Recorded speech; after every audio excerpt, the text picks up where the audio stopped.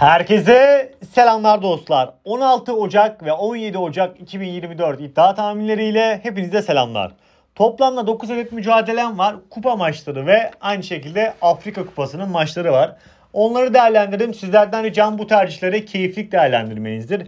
Yüksek değerlendirmeyin. Tamamen zevk odaklı, keyiflik olarak yapabileceğiniz kuponlar olsun diyerekten de isterseniz başlayalım. Öncelikle arkadaşlar maç skoru yarışmamızla başlayalım. Önceki bilen arkadaşlarımızı açıklayalım. Fakat önce iki tane maç skoru yarışmamız var.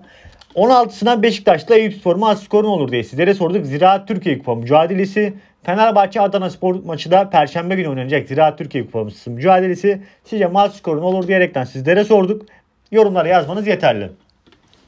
Cumartesi Beşiktaş maç skorunu sormuştuk. 3-0 bitti. Çağrı Arlı, Furkan Başak, Sevgi Düşmanı isimli kanallar kazandı. Pazar günü ise Manchester United'la Tottenham maçını sormuştuk. Abdurrahman Yılmaz, Sergen Uysal, Emre Doğan isimli arkadaşlarımız kazandı. Bana Instagram üzerinden yazabilirler. Her türlü soru, görüş, önereyim ve gruplara gelmek isteyen herkes de benimle Instagram üzerinden iletişim kurabilir buradan dostlar bilginize. Hafta sonu raporuna baktığımız zaman da 13 Ocak, Cumartesi ve 14 Ocak pazar raporu. Çok güzel tercihler vardı. Güzel sonuçlar var. İki günde iki mücadelemiz yaptı. E, Pazar günü Everton Aston Villa maçını saymıyorum. 9.5 üst korner verdik. Maç 9 korner vardı. Top kornere çıktı. Hakem öncesinde başka bir yere faul verdi. Tamamen piç oldu yani orada diyeyim ben sizlere. Onun dışında güzel tercihler vardı. Kazanıp değerlendirmeyen herkese tebrikler diyerekten de hafta sonu için geçelim. Misli grubumuza baktığımız zaman da şu an sallantıdayız birazdan. Cumartesi mislilerini ekrana getirdim ben burada. E, Newcastle maçına ben deplasman 1.5 üstte 2500 misli verdim. Mislinin ben 2 gol atacağını güveniyordum. Yasalda 1.51 gibi oranı vardı. 2500 misli olarak önerdim. Onun yanına da 1500 misli Avrupa kombini önermiştim. Beşiktaş maçına 1.5 üst, Dortmund maçına 1.5 üst, Leverkusen maçına da 1.5 üst verdim. İlk yarıdan kaçanlar. Bundesliga'da zaten cumartesi günü bütün maçlar alt bitti. Çok fazla dalavere dönüyor şu son dönemlerde. Özellikle yani sizler de kendi yaptığınız kuponlarda çok fazla başarı sağlayamıyorsunuzdur. Çünkü çok fazla sürpriz sonuç çıkıyor. Fenerbahçe bile 1-0 kazanıyor mesela. O şekilde bilginize yüksek mislerde bu şekilde devam ediyoruz. İdeal kombinlerde de önermeye devam ediyoruz. Cumartesinin aynı şekilde bunlar. Başakşehir yarı kazanır Bilbao yarı kazanır eksası olarak geldi. Burada Leipzig'e verdim. 1-0 mağlup oldum. Frankfurt'ta kimse yok. 3 tane en önemli oyuncusu yok. 3 tane en önemli golcüsü yok. Leipzig yeniliyor abi ne diyeyim. Beşiktaş'ın iki golüyle kombindi. O şekilde başarısı oldu. Onun yanında bu saat erken seans maçları oluyor. Japonya maçını size anlatmıştım. Bunun canlısını da yaptık. Bugün de Kore maçı falan vardı. Onları da yaptık. Birazdan göstereyim. Maç önü tercihlerimiz de devam ediyor. Canlı olarak zaten izlediğimiz maçların canlısını yapmaya çalışıyoruz her zaman. Burada da canlı olarak da gruplarımızla devam ediyoruz. Onun dışında herkes açık Telegram grubumuz var. Açıklama yorumlar kısmında mevcut. Buraya da ücretsiz bir şekilde sizler de katılım sağlayabilirsiniz. Hatta herkes açık Telegram grubundan başlık göstereyim ben sizlere. Bugün mesela Güney Kore maçı vardı. Güney Kore ile Bahreyn. Maç önü olarak önerdim. Dedim ki Herkes açık Telegram grubu bu arada. İlk yarı 1 dedim. 1.50 gibi oranı vardı maç önü. Altına yazdım 14.30 Kore maçıyla canlıya yapacağız. Kendi grubumuza devam ettik. Kore maçına ilk yarı bir gol aldık. Golü Kore'den bekliyorduk. Onu aldık. Devam ettik. Burada marş verdik. Çok fazla ses gelmiyordur muhtemelen. Ondan sonra ilk yarı sonucu bir zaten geldi. Devam ettik. Bu mücadele vardı. Burada da ev sahibi 2.5 üst olarak 2.33 gibi orandan önerdik. Gruplarımızda zaten bu şekilde devam ettiğimizi bildirelim ve devam edelim. Toplamda 9 adet mücadelem var. Sizlerden beğeni ve yorum desteklerinizi bekliyoruz diyerekten de başlayalım. Kasımpaşa ile Bandırma mücadelesi. Şimdi şöyle söyleyeyim. Ee, Kasımpaşa kupaya önem veriyor. Bandırma'da şöyle e, ligin 6. sırasında alt ligde TFF 1. ligde bence kupadan ziyade biraz daha lige odaklanmasını düşünüyorum ben. Kasımpaşa zaten kendi orta sıralarda son iki mücadelesinden mağlup olan bir Kasımpaşa vardı. En azından ya yedek kadrosu bile Kasımpaşa'nın burada Bandırma'yı yenebilecek güçte olduğunu düşünüyorum. Ben burada Kasımpaşa'nın ilk yarıdan atacağı bir golü değerlendirdim. İlk yarı ev sahibi 0.5 üst 1.42 gibi oranı var. Tek tercihimdir. Ben burada Kasımpaşa'nın ilk yarıdan gol atmasını bekliyorum Bandırma karesine. Tercihim bu yöndeydi. İdeal tek tercihim. İkinci, maça, ikinci maçın Burkina Faso ile Moritanya karşılaşması. Şimdi bu maçın da ben sizlere biraz kadro değerinden ve kadrodan bahsedeyim. Şimdi bu maçın indeks beklentisi arkadaşlar 2 birlik Burk Burkina Faso galibiyeti. Moritanya ile oynayacaklar. Şimdi kadro olarak baktım. Daha henüz izlemedim. Ben özellikle Afrika Kupası'nda izlemeye çalışıyorum bu ara haberiniz olsun. Burkina Faso'yu daha izleyemedim. İlk mücadelesi çıkacak. Fakat Traore, Kuatlara, ileride bir de Bande 4-4-2 şeklinde çıkacak gibi gözüküyor. Yani Moritanya'ya göre kaliteli bir kadrosu var. Burada ilk mücadelesinde grupta da kaliteli takımlar varken burada Burkina Faso'nun ben Moritanya'ya karşı galip gelmesini bekliyorum. Maç sonu 1'i 1.55 gibi orandan tekli olarak önerdim.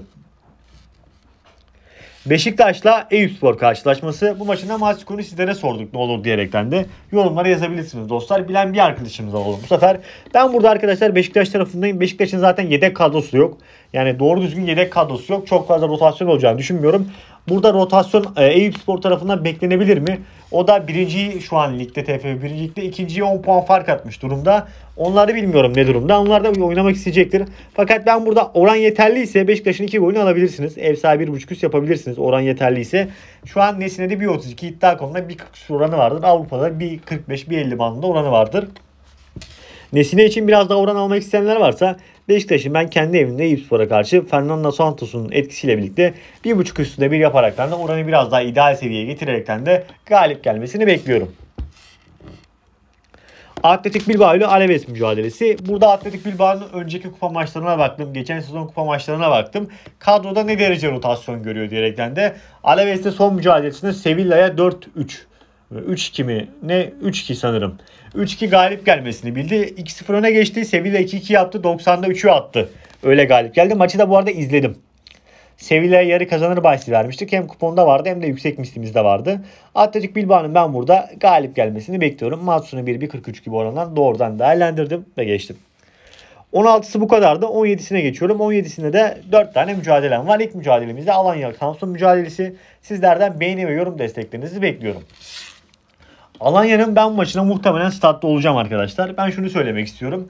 Alanya Spor burada kupada gerçekten önem veriyor. Ziraat Kupası'nda geçen yılda önem verdi. Ondan önceki yılda yani kadroda çok fazla rotasyon olmayacaktır Alanya Spor adına. Samsun tarafında belki bir rotasyon olabilir. Ben burada Samsun, Alanya'nın özellikle Alanya'nın o bir tane maç atlamışız. Bunu anlatayım. Mali maçını atlamışız. Geri döneceğim. Ee, Alanya'nın burada bir yarıyı kazanmasını bekliyorum. Ev sahibi yarı kazananı tercihim burada. Alanya'nın veya ilk yarıyı veya ikinci yarıyı kazanmasını bekliyorum. Ayın 16'sına hemen geri dönüyorum. Mali mücadelesini atlamışız çünkü. Mali maçında şunu söyleyeyim ben sizlere. Kadro olarak Mali tarafındayım. Oyun olarak da burada Mali'nin Güney Afrika'ya karşı ki maçın beklentisi 3-1 ayarında. Mali galibiyeti ev sahibi yarı kazanını bekliyorum. Burada Mali herhangi bir yarıyı kazanır. Bir 50 bandında oranı var bilginize. Bunu da anlatmış olayım atlamadan. Sonra devam edelim. Adana Demir Erzincan Spor karşılaşması. Adana Demir'in de ben burada Erzincan Spor'un. Bu arada Erzincan Spor'un son ziraat mücadelesini izledim. Erzurum Spor'la oynadı. 3-0 galip geldi. İyi bir oyun yoktu. Dandik bir oyun vardı Erzincan'da. Adana Demir'in burada ilk yarıdan galip gelerekten de değerlendirmesini bekliyorum. İlk yarı 1-1-9 gibi orandan değerlendirilebilir. Diğer mücadelemde Fas'la Tanzanya mücadelesi. Fas'ın son Dünya Kupası'nda neler yaptığını biliyorsunuz zaten. Ekstra bir yani tarihinin performansını sergiledi diyelim. Kadro kalitesi oyun olarak zaten kendilerini üst seviye aldılar. Gruba baktığımız zaman da yani grubun mutlak favorileri olduğunu da söyleyeyim ben sizlere. Tanzanya ile oynayacaklar ideal kadro olacaktır muhtemelen sahada ilk maç olması kaynaklı da. ilk yarıdan e, Fas'ın atacağı bir gol 1.44 bandında oran var. Şöyle göstereyim sizlere. Bir saniye. En altta. Fas'ın atacağı ilk yarıdan bir gol 1.44 gibi oranı var. Değerlendirmek isteyenler böyle bir değerlendirme yapabilirler. Ki şöyle de bir şey yapabilirsiniz. Biraz daha risk alıp ilk yarıdan bir Fas galibiyeti 1.61 gibi oranlarla değerlendirebilirsiniz. Diğer mücadelem Fenerbahçe ile Adana Spor karşılaşması. Son karşılaşmam burada Fenerbahçe tarafındayım. Fenerbahçe'ye ne alırız diye baktığımız zaman da yani herhangi bir türlü oran bulamıyor. İdeal almak isteyenler varsa şu şekilde handikap 2'den yani Fenerbahçe'nin mücadeleyi en az 3 fark atarga seçeneğiyle değerlendirebilirsiniz. Dediğim gibi e, ya yedekleri bile çok kaliteli. Fenerbahçe oynayacaktır. Adana Spor direnecektir burada. Ki maç da zaten Kadıköy'de. O yüzden burada Fenerbahçe en az 3 farkla galip gelecektir diye düşünüyorum. Bu maçın da maç skoru sizlere sorduk ne olur diyerekten yorumlara yazabilirsiniz. Toplamda 9 adet mücadelem var. İdeal ve yüksek oranlardan bahsetmeye çalıştım. İdeal kombini öneremedim. Gruplarda devam edeceğiz. Şöyle söyleyeyim. Bazı maçların kadrolarını görüyorum. Güzel oluyor. Bugün mesela Güney Kore'nin kadrosunu gördük. O şekilde ilerledik. 3'te 3'ü aldık. Devam ettik. O şekilde baylar bilginize değerlendirecekleri gruplara gelecek herkese bol şanslar. Videoya like atıp kanala abone değilseniz abone olmayı unutmayın. Görüşmek üzere. Seviliyorsunuz. Bay bay.